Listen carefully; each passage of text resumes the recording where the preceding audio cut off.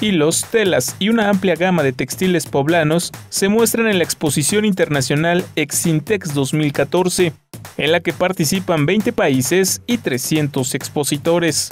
Rosario de Puebla somos una empresa, una, hilatura, fabricamos el hilo que viene siendo para todas las eh, empresas que se dedican a la, fabricación de telas o de calcetines o de tejido de punto.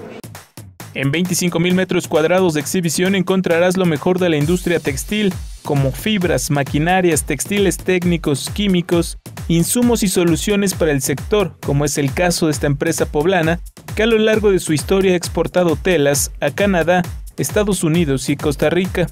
Poblana es una fábrica que, tiene más de 80 años en el mercado eh, y hacemos, empezó haciendo telas mantas y telas sencillas y cada vez se ha ido sofisticado, sofisticando más y estamos haciendo telas de moda, textiles especiales, algunos textiles técnicos como telas inífugas, telas antibacterianas. A lo largo de esta semana, Exintex 2014 espera la asistencia de 30.000 visitantes y cerca de 100 compradores internacionales. Con imágenes de Vicente Velázquez, informó para Puebla Noticias Fernando Mendoza.